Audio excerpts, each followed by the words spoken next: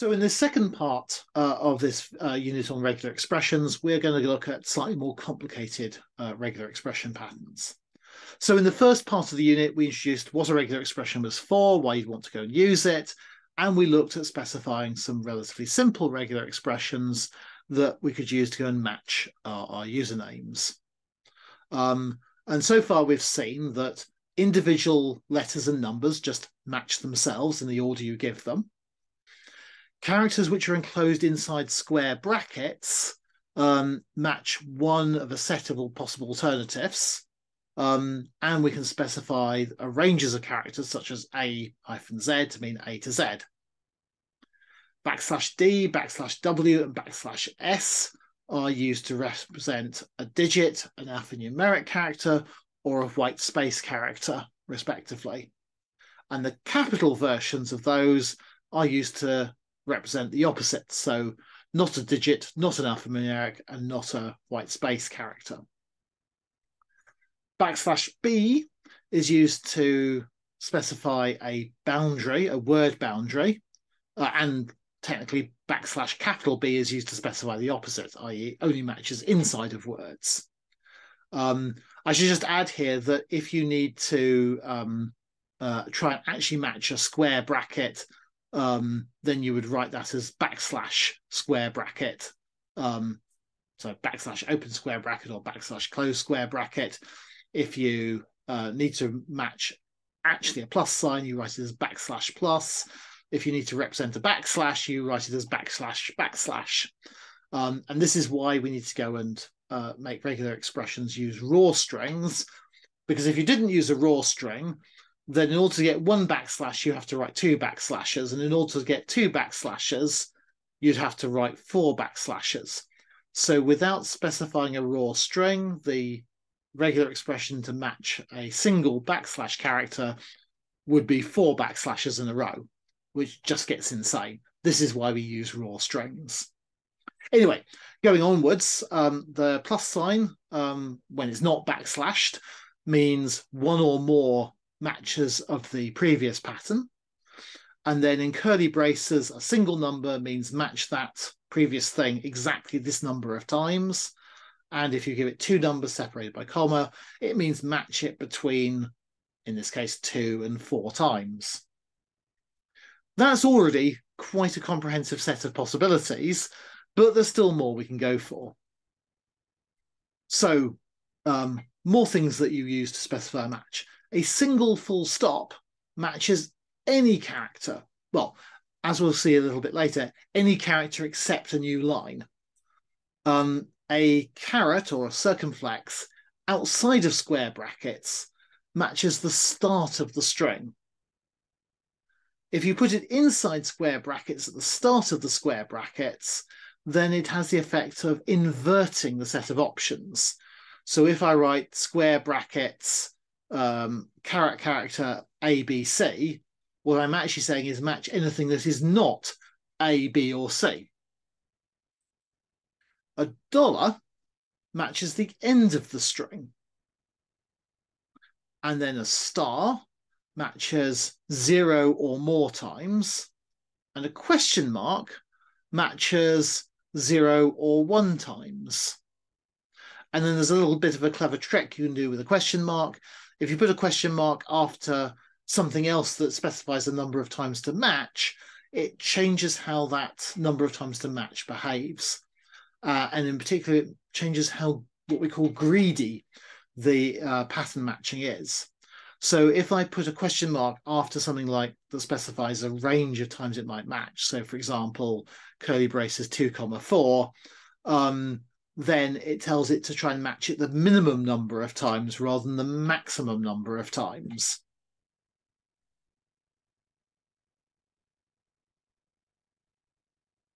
So here's um, uh, again a, a, couple of examples of making some patterns that go and do this. So in the first example here, we're going to start off with a pattern very similar to what we've used before. So we have a word boundary, py, then two digits, then between two to four alphanumeric characters, then a word boundary, and now I'm going to do dot star dollar. And the way to read that dot star dollar means any character you like, zero or more times until I reach the end of the string. So in other words, that's going to make this pattern match everything after the username um, uh, up to the end of the line. In fact, we're going to match the username plus everything else up to the end of it. Um, in the second example, I've said um, the opening char- the caret character at the start of that string means match at the start of the string. And then I specify in square brackets, I'm specifying a list of alternatives. But I start that list of alternatives off with a, another caret character, which is going to mean except the things I've specified here. And I've just given it P. So that can be read as match anything that is not the letter P and do that zero or more times and then look for a username. So that second pattern is going to match the start of a string, as long as it doesn't contain a P, um, up to and including then a username. And so I've done that with our string each time, and you can see here the result. So in the first case, it matches the first username and then everything else after that to the end of the string. And in the second case, it matches the start of the string and goes all the way up to the first username.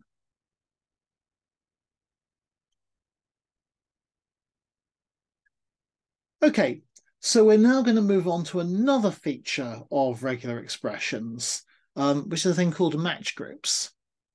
So sometimes we want to go and um, match something and then also record um, part of that regular expression pattern, identify part of that pattern separately.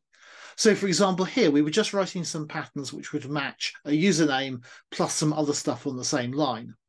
So suppose we were to write a regular expression that was going to match a whole line um, that included a username, but we also wanted to extract the username out of that out of that line. So we're imagining here maybe that we're say reading a file and we're looking for files which contain usernames, and then we want to extract the username out of that, that line. So we could do that by having two separate patterns.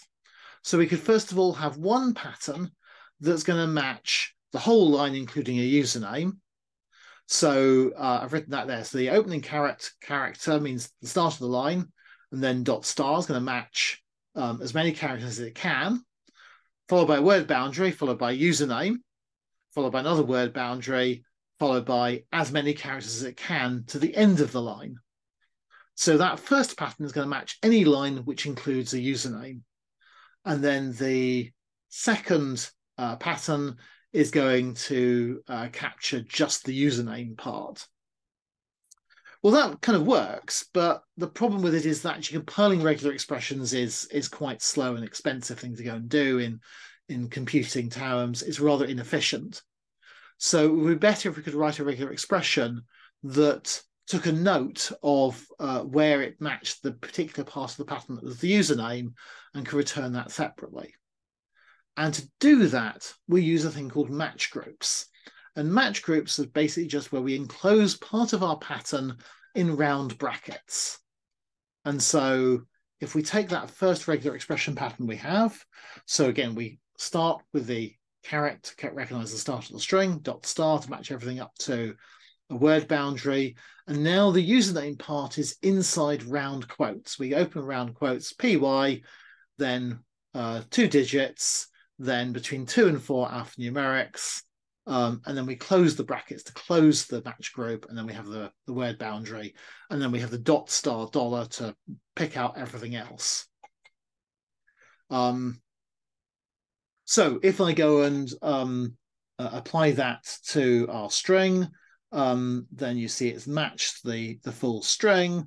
Um, so I've just called result.group and that's printed out the full match. And now I can call result.group and pass it the uh, parameter one. And that's used to say, meaning I want the first match group in the string. So when I call dot group, um, if I don't give it a parameter or if I give it zero, it matches the entire pattern, tells me what the entire pattern match was.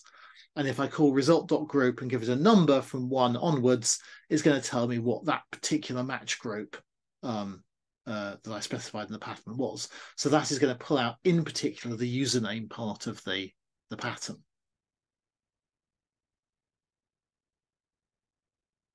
Uh, there's actually also a, another option, and that is you can use the indexing notation to get the same information from from the result object.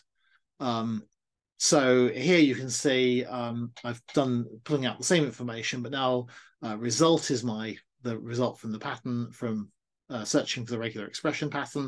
And if I just treat it like it's a, a list and I index it with zero, it gives me the first uh, group match. And then if I index it again uh, with one, it's going to give me the result of group one, which was just the email address. So that can be quite a convenient and slightly more compact notation for accessing the information in the in the result group. And you're starting to see here, this is why the result group, why the result object is so powerful to use, because it doesn't just contain information about the overall match, but it's also starting to contain information about particular parts of the pattern that we've asked it to pick out and recognize. So one of the questions you might ask then is why did the that pattern um, that to extract the username match the last username and not the first username? And that's because we started the pattern with the uh, caret dot star, uh, which matches as much text as it possibly can, um, starting from the very from the the first. So in other words, what it's going to do is going to match everything up to the last word that would be allowed to be a username. And so that's why it's picking out the last username from that string. If we want to change that, we need to tell that first dot star um, at the part of the pattern not to be so greedy. And we do that by adding the question mark after it. So this is the example of using a question mark after a uh, thing that specifies the number of times you repeat it in order to go and control how greedy it's being. So here I've done that. Now when we run that pattern uh, with that extra question mark um, after the first dot star, then you see it's pulling out the first username and not the last username. So it still matches the whole things. It's just choosing um, where to go and uh, uh, where to go and match.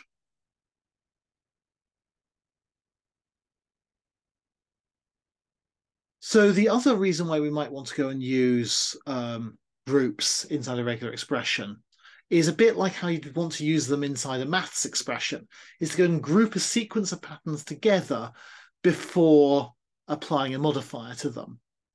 So for example, to give a specific um, example here, let's go back to our usernames. Um, and although the undergraduate student usernames contain a year in which the student was created, if you look at uh, usernames for postgraduate students who came to Leeds for the first time as a postgraduate student, they don't get a year group. So they just get a username which might look like PYSPQR. So they get the PY because they're in physics, and then the SPQR is a bit that comes from their name. So now we need to make the um, year part of their username optional so we can match both undergraduate and postgraduate students. And so we might write a pattern that looks like this. So again, we're looking for the start of a word boundary, the letters PY, and now I'm putting in brackets the um, slash D for a digit and the modifier that we want two of them. So I'm specifying I want two digits and then they're in brackets. And after the brackets, I've got the question mark. And what that's meaning is I want zero or more of the previous thing. Well, the previous thing was two digits. So the way to read that is saying I want the letters PY followed by optionally two digits. And then moving on, we want between two and four alphanumeric characters. So I've given it a bunch of usernames, some postgraduate, some undergraduate, and then we're going to look to see if um, group one has any content.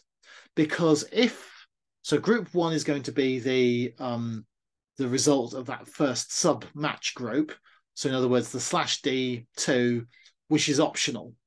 So if the postgraduate username, that group one doesn't have any uh, content in it. And so when we do if result.group one, that will return false. Um, whereas in an undergraduate case, it's going to have the year um, digits in it. And when you ask whether that's true or false, that's going to turn out to be true. And so I can use that to go and say whether a username belongs to an undergraduate or a postgraduate uh, user account. And so you can see we're just run through all the matches there, and we identify which ones have year groups and which ones don't.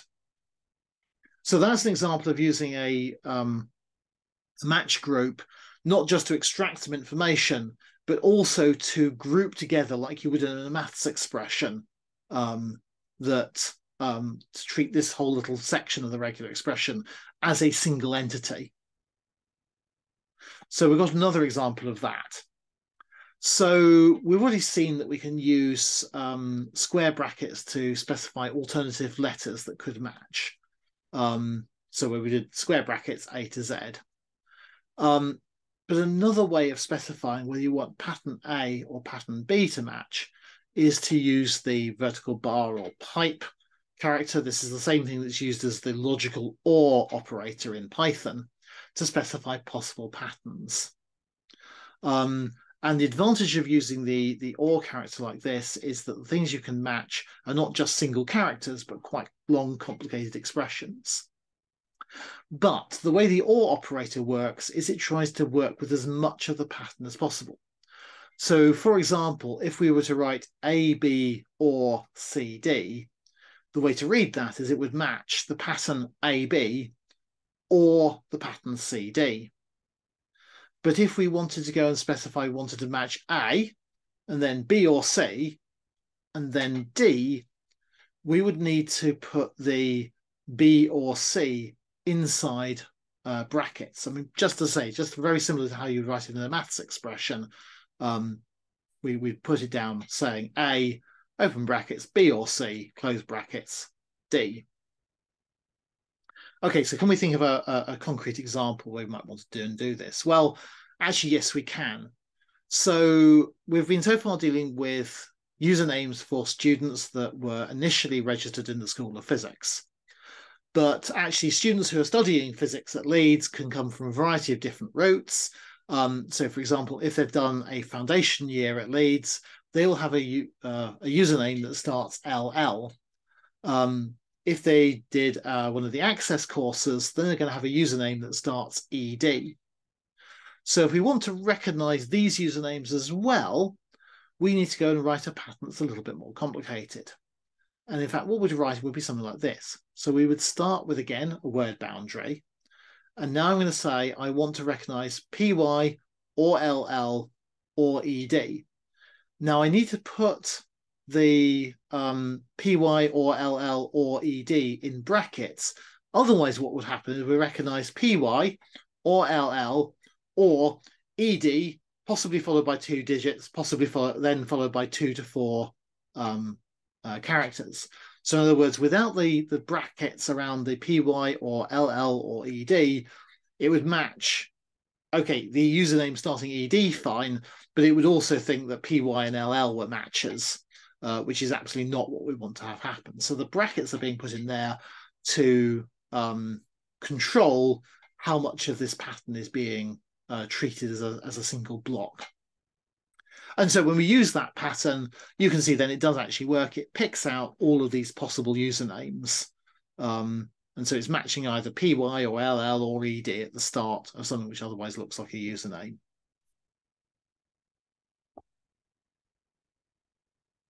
Um, so um, in the case where we're using that um, uh, first round brackets, um, uh, as I was saying, if we don't use them, then you end up not matching where you want to go and get the right thing.